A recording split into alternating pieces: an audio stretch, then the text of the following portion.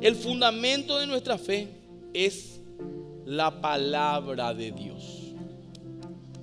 No nuestras emociones, no nuestros sentimientos. ¿Por qué? Porque la palabra de Dios nunca cambia.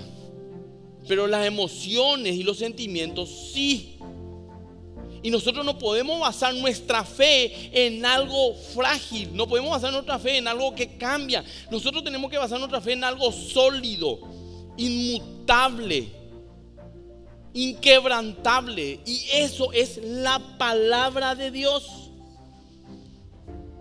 La Biblia dice luego claramente Jeremías 17:9, pueden anotar nomás. Engañoso es el corazón más que todas las cosas. Y perverso, ¿quién lo conocerá?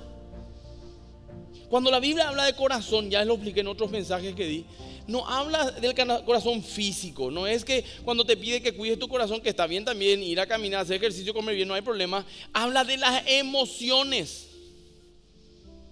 Y si vamos a cambiar la palabra corazón por emociones, dice así, engañosos son las emociones más que todas las cosas y perverso. ¿Quién lo conocerá? Hoy te amo, mañana no sé. Hoy tengo miedo, mañana estoy con ánimo. No, no podés basar tu fe en eso. Es fluctuante. Tu fe tiene que estar asido en algo realmente fuerte, sólido y, estable, que es la palabra de Dios y su promesa en sobre tu vida. No en tus emociones, no en tus sentimientos sin importar lo que sintamos en el momento, siempre podemos confiar en el Señor que Él nos prometió. Amén.